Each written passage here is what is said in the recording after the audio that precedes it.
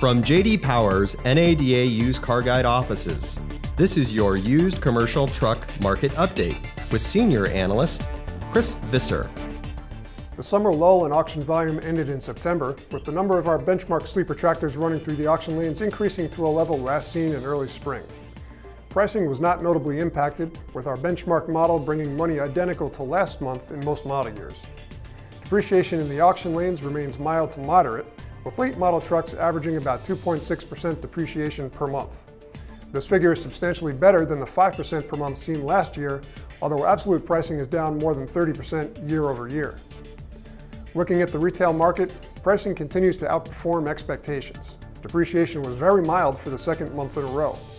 Since January, three to five year old trucks have lost less than 2% per month. This figure is higher than last year's average, which was running at just over 1% per month. Trucks sold this year are bringing about 11% less money than this time last year. The big story on the retail side is sales volume. The number of trucks retailed at individual dealer rooftops increased dramatically in August from 4.7 to 5.4. Given current economic conditions, especially factors with heavy truck exposure, any result over five trucks per rooftop is a surprise. There were no unusual factors mitigating this result, so it's looking increasingly likely that buyers are entering the market in greater numbers as pricing continues to relax to attractive levels. Overall, depreciation is mild despite higher volume. The freight environment remains moderately negative, but the domestic economy in general continues to show incremental upward growth.